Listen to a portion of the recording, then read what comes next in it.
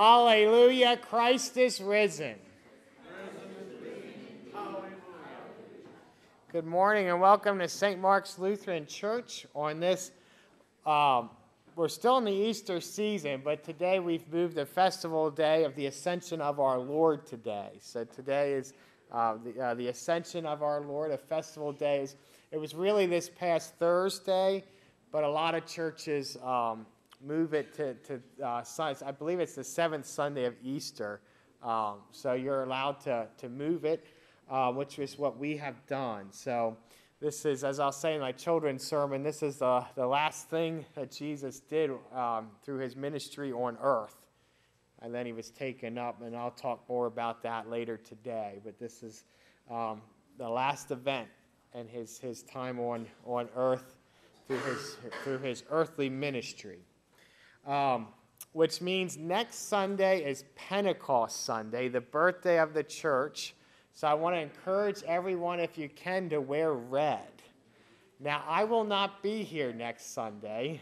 Uh, I feel a little bad. Next, it's a big weekend next weekend. So this coming Saturday, we have the yard sale and bake sale. So if you have anything you could donate, we'd appreciate that. And um, those items can be brought uh, down, the, the yard sale items can be brought on the first floor.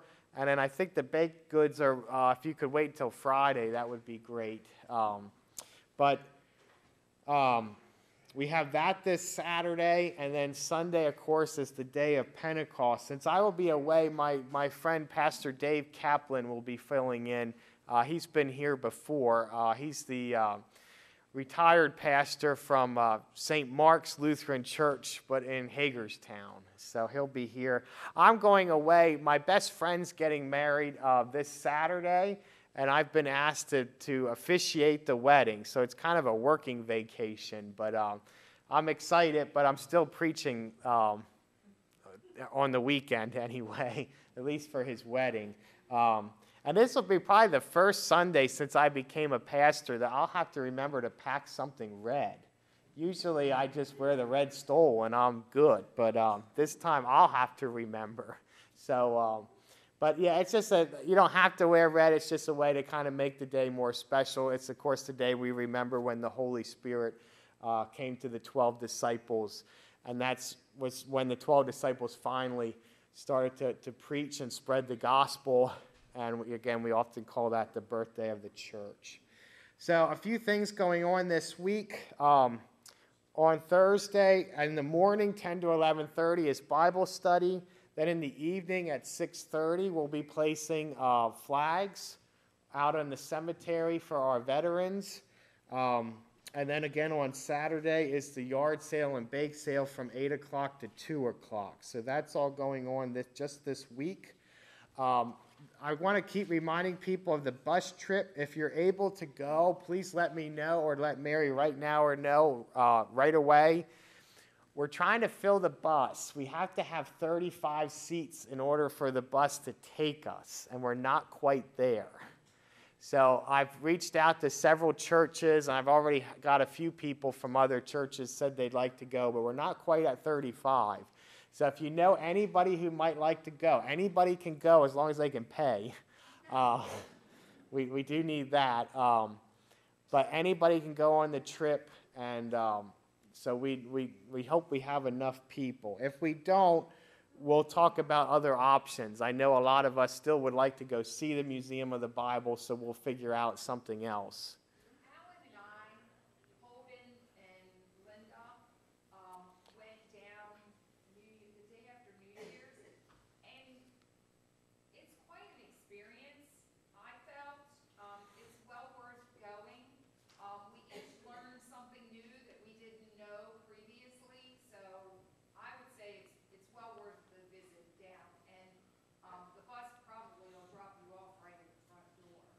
Yeah.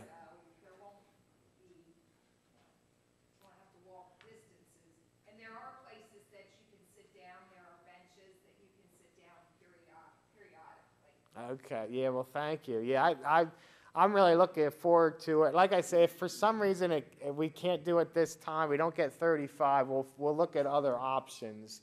Um, But if, like I said, if you know any, if, if you can go or you know someone who wants to, please let us know. And, um, like I said, we're hoping to do that there in uh, June 17th. So, okay, thank you. Are there any other announcements for the good of the congregation? Anything I may have forgotten or?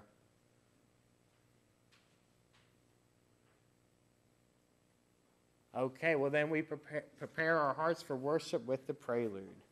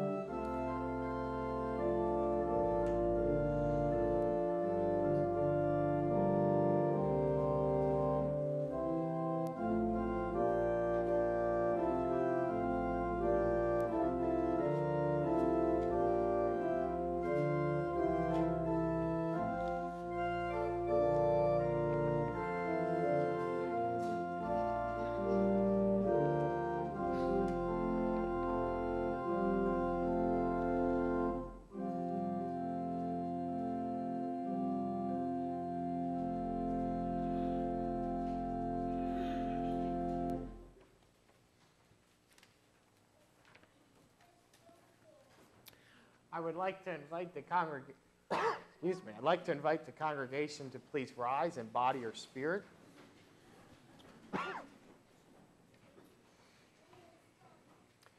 And we gather in the name of the Father, and of the Son, and of the Holy Spirit. Amen. Joined to Christ in the waters of baptism, we are clothed with God's mercy and forgiveness. Let us give thanks for the gift of baptism. We give you thanks, O God, for in the beginning your Spirit moved over the waters, and by your word you created the world, calling forth life in which you took delight. Through the waters of the flood you delivered Noah and his family. Through the sea you led your people Israel from slavery into freedom. At the river, your son John was baptized by John and anointed with the Holy Spirit. By water and your word, you claim us as daughters and sons, making us heirs of your promise and servants of all. We praise you for the gift of water that sustains life. And above all, we praise you for the gift of new life in Jesus Christ. Shower us with your spirit and renew our lives with your forgiveness, grace, and love. To you be given honor and praise through Jesus Christ our Lord, and the unity of the Holy Spirit, now and forever. Amen. Amen.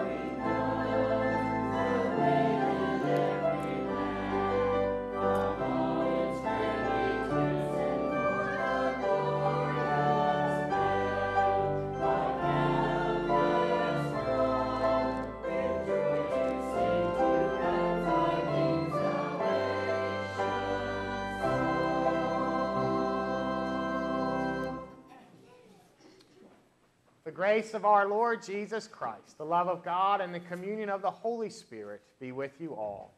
And you. And let us pray. Almighty God, your only Son was taken into the heavens, and in your presence intercedes for us. Receive us in our prayers for all the world, and in the end bring everything into your glory. Through Jesus Christ, our sovereign and Lord who lives and reigns with you and the Holy Spirit, one God, now and forever. Amen. Please be seated.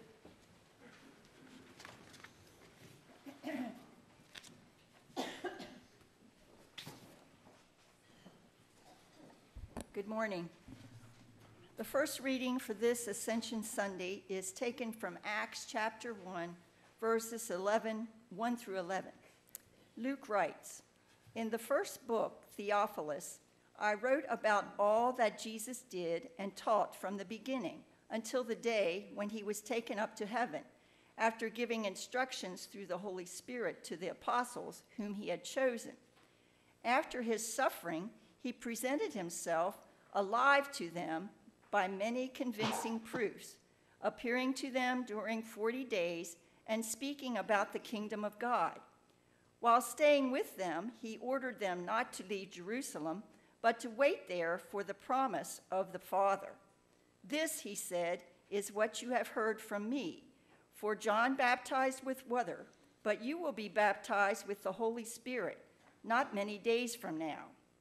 So when they had come together, they asked him, Lord, is this the time when you will restore the kingdom to Israel?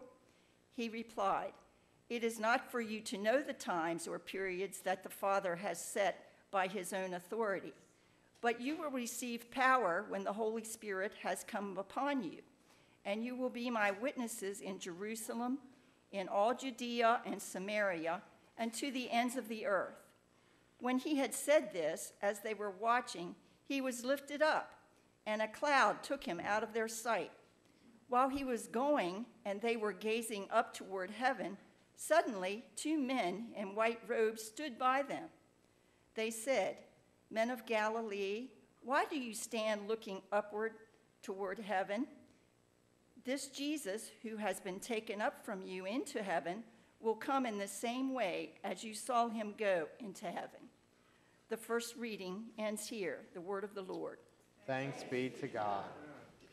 Let us read responsibly Psalm 47. Clap your hands, all you peoples. Shout to God with a joyful sound.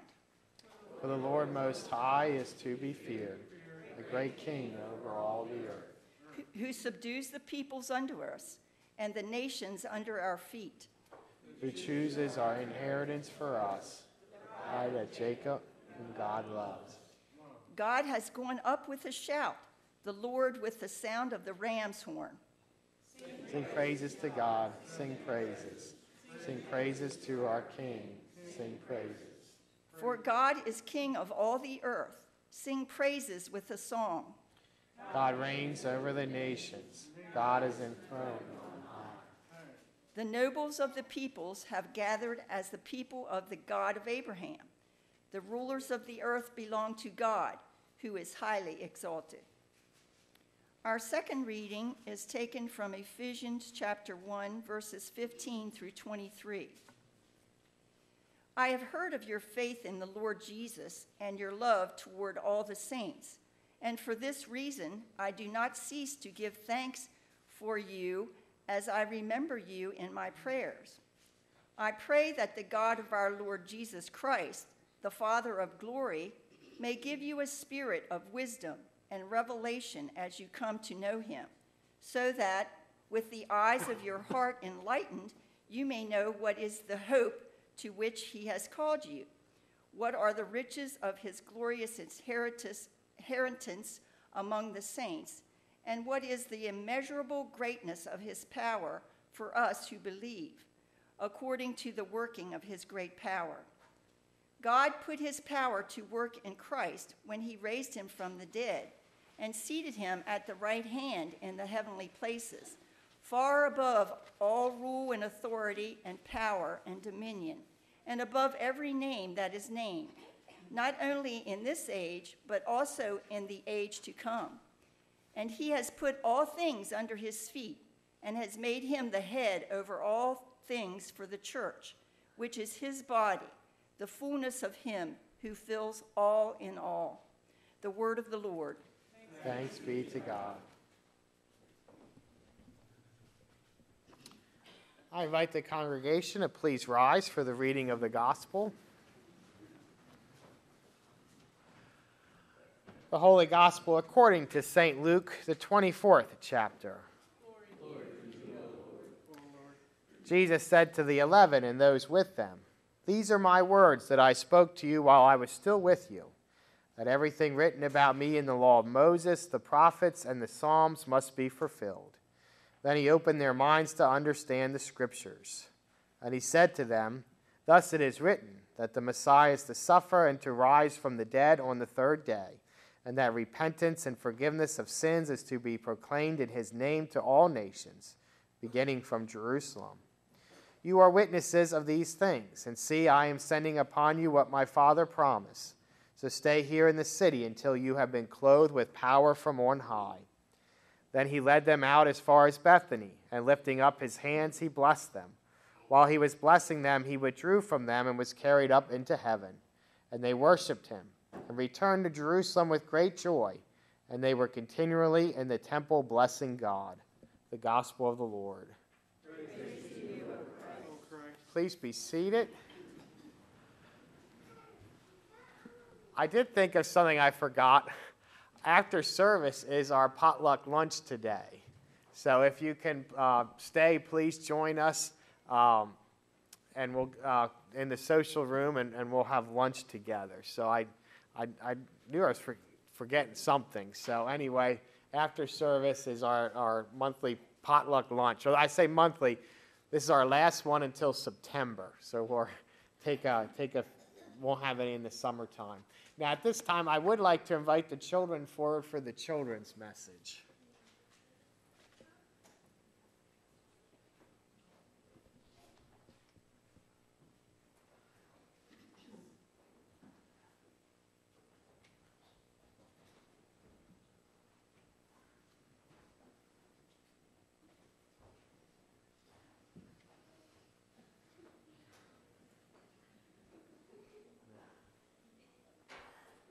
Okay. Well, good morning. So, today is an important day in the church year. Today is one of these special days we call a festival day. And today is called the Ascension of our Lord. Who's our Lord? The Ascension of our Lord. Jesus, exactly. Jesus is our Lord. So, today is called the Ascension of our Lord. So, throughout the, we're often remembering things when, in with the time that Jesus was on earth, uh, teaching his, the 12 disciples and others. So we, we remember that time he spent on earth. And what's the first event in his life that we celebrate? It's kind of the first event in everyone's life. Someone's life to begin, what has to happen? Alex? When they're born, that's right. So the first thing we remember is when Jesus was born. And what do we call his birthday? His birthday is a special name. Sammy? Christmas, Christmas exactly. And then we remember a little bit of time passes, and then we remember another big event in Jesus' life. And this begins his time of teaching and performing miracles. You know that already? Exactly, his baptism. So then we remember his baptism. So now this gets a little confusing. We, we almost every Sunday we remember something from the time Jesus was on earth with everyone. Um, but this Sunday we actually, I know the year's not over yet, but this Sunday we remember the last thing he did while he was on earth with everyone and everyone could see him. And that's was he ascended. Now, what's that mean to ascend? What do you think that? That means to go what? Go up, right? So that's when Jesus ascended into heaven and to be with God the Father. Okay? So Jesus went up to be with God the Father. Now, you can look at, there's the disciples. Now, you think they might have been sad that Jesus was leaving them because they love him, they love him, and he's been their teacher all this time. But we're told that they weren't sad. The Bible says um, that they worshiped him and they returned home with great joy. So they're actually happy. And they were happy for a couple reasons. We're told that when right before Jesus went into heaven, he opened up the scriptures to them. So he helped them understand what book. What book? Wow, think even more than Genesis. Genesis is part of what? What? What, what? The whole book. Genesis is in it. The Bible. The Bible. The Bible. He helped them. So we call that sometimes the scriptures. But, but he basically helped them understand the Bible. He also promised them that God would always be with them and that he'd be sending them God, the Holy Spirit, to live inside of them. So he, he wanted them to know that God would always, always be with them. Okay? So that's why they're not sad. And the same is true for us. God is always with us. And one way we know is what we this this morning we remembered our baptism.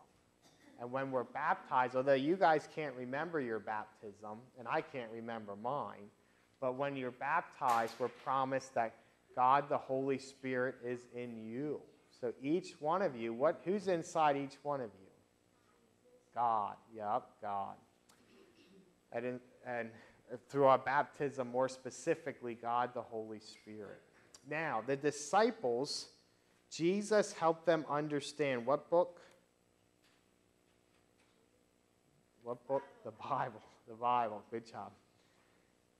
The disciples went out and helped other people understand the Bible. And they went out and helped other people understand the Bible. And the group that we call that helps people understand the Bible is the church. And one of the reasons we come to church is to help each other understand what book? The Bible. So that's that's one of the missions of the church. That's one of the big things the church is supposed to do is help people understand the Bible, help them know that God loves them and that God is with them. Okay? So, and that's why as Christians, as people who believe and follow Jesus, most of the time we should be happy people because we know who's inside of us. God. God loves us. He lives inside of us. So as Christians, like we should be like those disciples when they saw Jesus go into heaven, and we should be happy. Okay, um, will you please pray with me? Let us pray. Lord Jesus, today we remember when you ascended into heaven and were seated at the right hand of the Father. Thank you for being faithful to the mission that you were given by the Father to save humanity and help us to remember that although we cannot see you, that you are always with us. Amen. All right, thanks for coming up.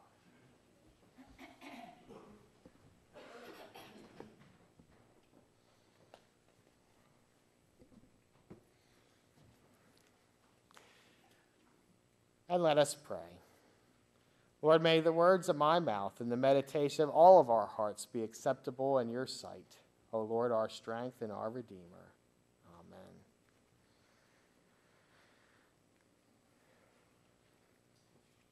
I could be wrong, but I believe, I believe that a joke about the Christian festival day, the ascension of our Lord, was written during the pandemic.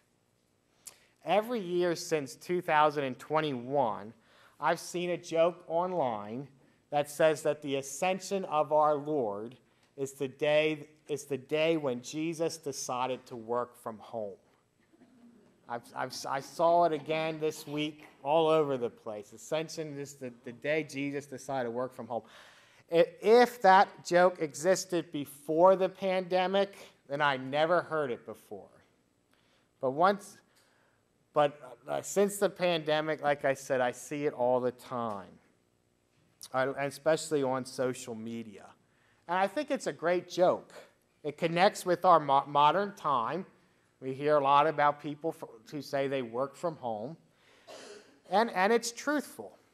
It's true. They often say uh, all good comedy has some truth to it. So it's, it's, it fits with our modern times and it's truthful. Although Jesus is in heaven, he's still, he is still working to help humanity. Now, one of the confusing aspects about, of Christianity is that part of Jesus remains on earth. Jesus is truly present in the bread and wine of Holy Communion. And although we cannot see him, Jesus is present every time two or more Christians gather in his name. So he is with us right now. So Jesus is present on earth and at the same time in heaven, where he continues to work on our behalf. Hebrews chapter 4 says, We have a great high priest who has passed through the heavens, Jesus, the Son of God. So Jesus continues to hear our prayers and intercedes on our behalf in heaven. He is our great high priest in heaven. So, although Jesus is not walking the earth, he is still very much at work. And on top of that, as our psalm and our first lesson teach us, Jesus is the ruler of the universe. So he's not only is at work helping us, but he's truly the ruler of the universe. Our psalm for today says that the Lord Most High is to be feared, a great king over all the earth. And then in verse 8, we are told God reigns over the nations, God is enthroned on high. Now, Martin Luther once wrote that the 47th Psalm is a prophecy of Christ, that he shall rise up, that he shall rise up and become king over all the world, without a battle, simply through shouts, songs, and trumpet calls. That is, through the joyful preaching of the gospel. Just as the walls of Jericho fell by trumpet blasts and shouts without weapons at all. Martin Luther's words about this psalm is a reminder that Jesus of Nazareth is truly the Prince of Peace and that Jesus is not like the rest of humanity. He's not filled with anger or seeking revenge. He's not out looking for conquest or to amass riches. Instead, his time on earth teaches us that he truly is our God.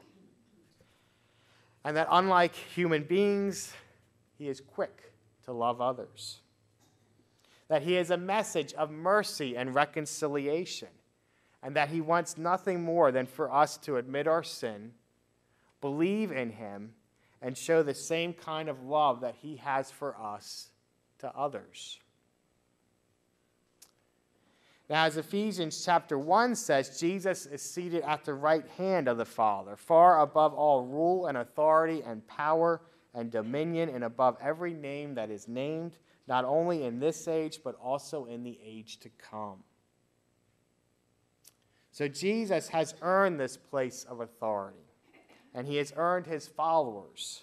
Again, not through battles, but instead he has earned his followers through love, mercy, suffering, and perfect faithfulness to God the Father.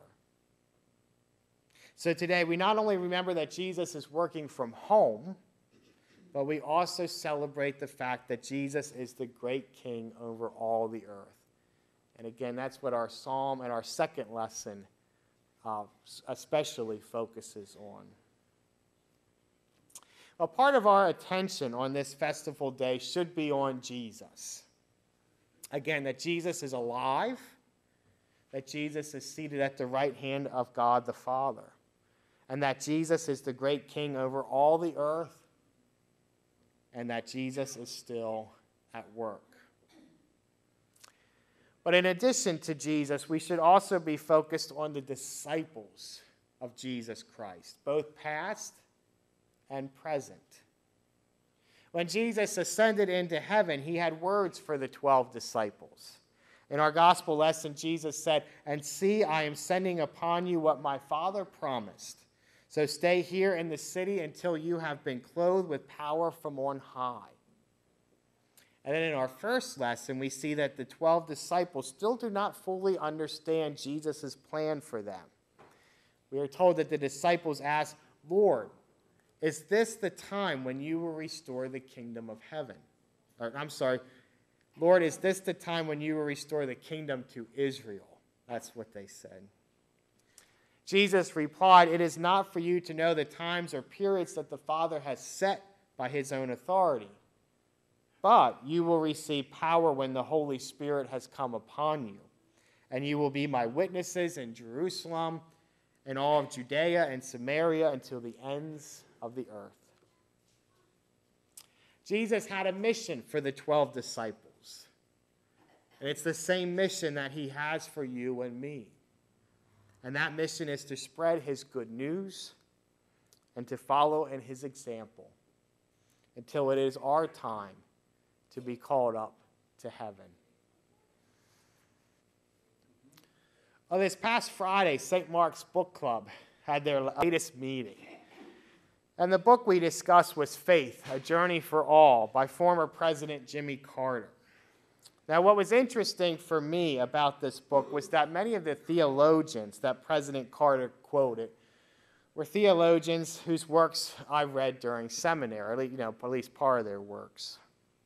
Well, in one section of the book, President Carter brought up a criticism about Christianity that I've heard at least since I was in seminary, maybe, maybe even longer, but I've heard this quite often. President Carter wrote that he has a copy of the 1989 edition of the book called The 100, which ranks the most influential people in history. And the author, Michael Hart, places Muhammad at the top ahead of Jesus. Hart explains there are two principal reasons for that decision.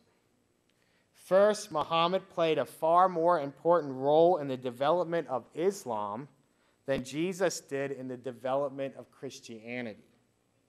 Although Jesus was responsible for the main ethical and moral precepts of Christianity, St. Paul was the main developer of Christian theology, its principal proselytizer, and the author of a large portion of the New Testament. Now, I've heard this argument several times. Of, I've had a lot of people tell me that St. Paul is really the founder of the Christian church and of most Christian beliefs, and not Jesus. Now, it is true that St. Paul is the greatest evangelist who ever lived. But Jesus had already established the church before Paul ever became a believer. The church was relatively small when Jesus ascended into heaven, but it was Jesus who instructed the disciples and who told them that they would be sent out to, wit- to be his witnesses to the ends of the earth. Now, no one should be surprised that the church grew so significantly after Jesus ascended into heaven. In John chapter 14, verse 12, Jesus tells the 12 Jesus tells the disciples, "Very truly I tell you the one who believes in me will also do the works that I do, and in fact will do greater works than these." because I am going to the Father. He tells them, will do greater works than these because I am going to the Father. As we see in our first lesson, Jesus instructed the disciples, and again, this really does include St. Paul and other future disciples, that they would, that they would be his witnesses in Jerusalem and all of Judea and Samaria and to the ends of the earth. It was Jesus' plan all along that his followers, sinners, imperfect people, would be able to spread his good news throughout the world. Now, the followers of Jesus may be sinners, but we are forgiven sinners, and we may not be perfect like Jesus, but we are given help. In our first lesson, Jesus tells the disciples, For John baptized with water, but you will be baptized with the Holy Spirit not many days from now. Baptism is so important because through our baptism, we are promised that we have been given the gift of the Holy Spirit who lives inside of us and who helps us in our faith and in our mission to live out and spread the gospel message. Now, many people who did not grow up in the church will say that they felt the Holy Spirit leading them to Jesus before they were baptized. And that can definitely happen. That can definitely happen. However, one of the reasons baptism is given to us is so we can be assured that we have received the Holy Spirit, that our sins have been forgiven, and that we are members of the family of God. Commissioned, commissioned with the mission to spread the good news of our Lord Jesus. And as we see in the book of Acts, the disciples did not go out to do greater works until they received help from the Holy Spirit. They did not go out to do greater works until they received help from the Holy Spirit. So, as influential as St. Paul was, he is not the main developer of Christian theology. He is not the founder of the Christian church. Jesus established the church, and he instructed the original disciples. It was then, as he predicted, with the coming of the Holy Spirit, that the disciples, including St. Paul, were able to spread the gospel to the ends of the earth. And this is a mission that has been passed down to every new generation of disciples. And it is our mission until we are called to rest with God in heaven. You and I have been baptized with the Holy Spirit and called to share the gospel through word and deed with all those around us. Most of us are not called to be traveling the, to be traveling missionaries like St. Paul, but we are all called to share the gospel in word and deed with those around us. So, this is our last Sunday in the Easter season. No matter what, no matter the exact date that the ascension of our Lord is celebrated, it is a time to remember that Jesus is still very much alive, that he is truly the king over all the earth, who reigns over the nations, and that he is often working from home on our behalf. Again, Jesus continues to be with us here on earth in a few different ways. But he is also our high priest in heaven, seated at the right hand of God the Father. The ascension of our Lord also prepares us for Pentecost. We are reminded that Jesus has work for us to do, that we too are called to do great things in the name of our Lord. Again, we have help from both Jesus and from the Spirit and from each other. But we do have work to do. And our work is to grow the kingdom of God. Not with weapons and with battles, but through acts of love and kind words that teach people that God truly loves them. Amen.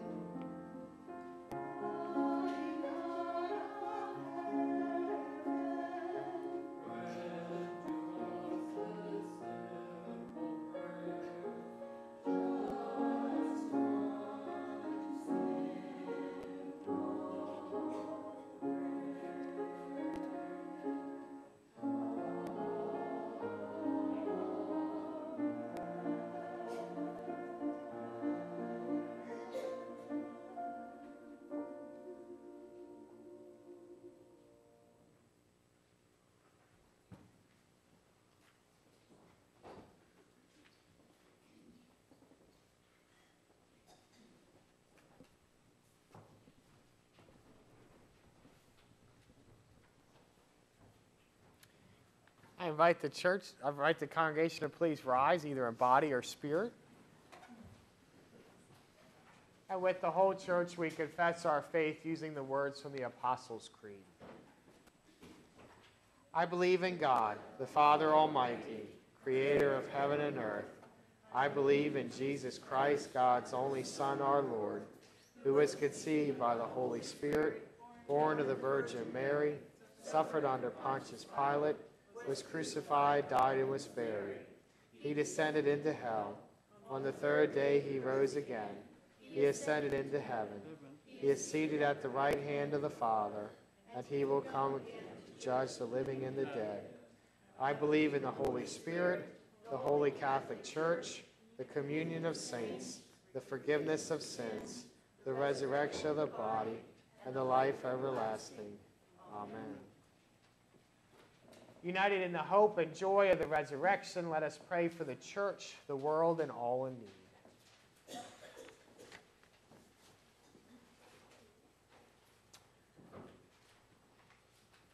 O God, beyond all praising, we worship you and adore you.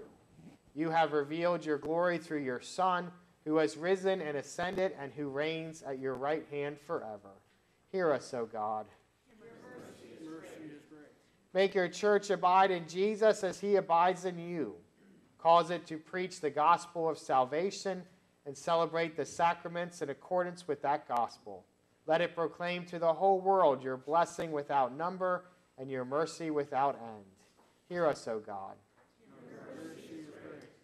Unite our hearts with, our, with fellow disciples of your Son and with, and with missionaries of your gospel. Let us all be so united to your beloved Son and with one another, that in everything we glorify your name and spread the bounties of your mercy throughout the world. Hear us, O God. Let the radiance of our beautiful Savior fill the hearts and sanctify the ministries of this congregation. Make our worship into a joyful duty and our service into a sacrifice of praise. Use us to lead others to Jesus, that with us they may worship, honor, bless, and adore him. Hear us, O God. Your mercy is great. You have appointed your Son as King of creation and Lord of the nations. Teach our leaders to praise your name, to love justice and righteousness, and to seek those things that make for peace. Come to the help of those whose lives are troubled by sorrow and hardship, and draw all people into the glorious and gentle rule of Christ their Savior. Hear us, O God. We lift our hearts to you on behalf of all of, of all whose lives are clouded by any sort of affliction or sorrow. And we especially lift up those who are known to this congregation who are in need of your healing pre- presence. We pray for Irene, Mike, Jim, Daryl, John, Brandon, Zine, and for all those we now name aloud or in our hearts.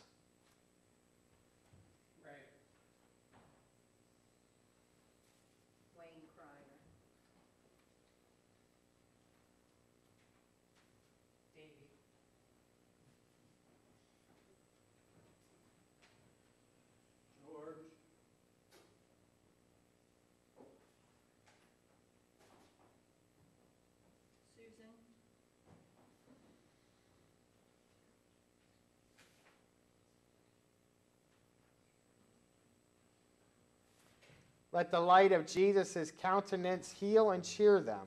Let all who care for them do so with tenderness and compassion. And grant that together we praise you for your unending mercies. Hear us, O God. O Lord, those who have died trusting in your promises now see their beautiful Savior face to face. Thank you for bestowing this blessing upon them. Continue to show, continue to show to us your love. Though we are your unworthy servants, bless us with such good gifts as will sustain us and others in this life.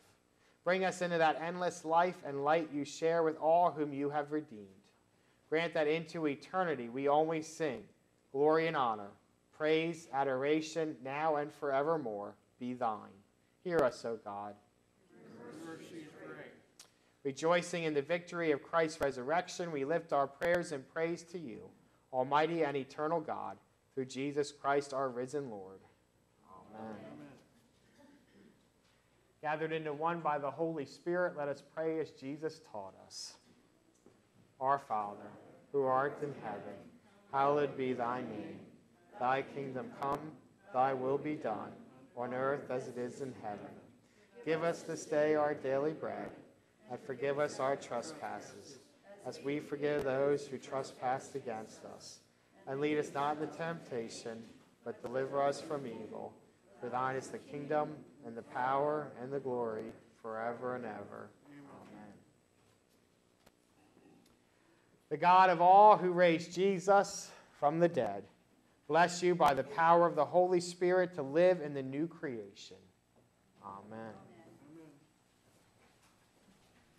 Amen.